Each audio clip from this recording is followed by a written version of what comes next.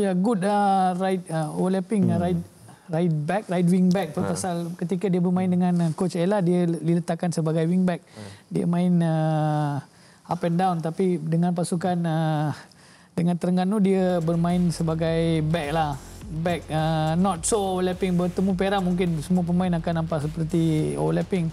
Ketika bertemu JDT kita tengok macam mana corak permainan hmm. dia. Tapi apa yang saya nak lihat daripada Azam Azmi ni dia ada kaliber, dia ada potensi. Tunjukkan ketika bertemu JDT, ketika situasi satu lawan satu dengan Forestieri hmm. ataupun Arif Aiman, cuba tunjukkan anda ini memang defender juga. So bila attack, seorang sebagai seorang pertahanan kanan kena pandai juga bertahan.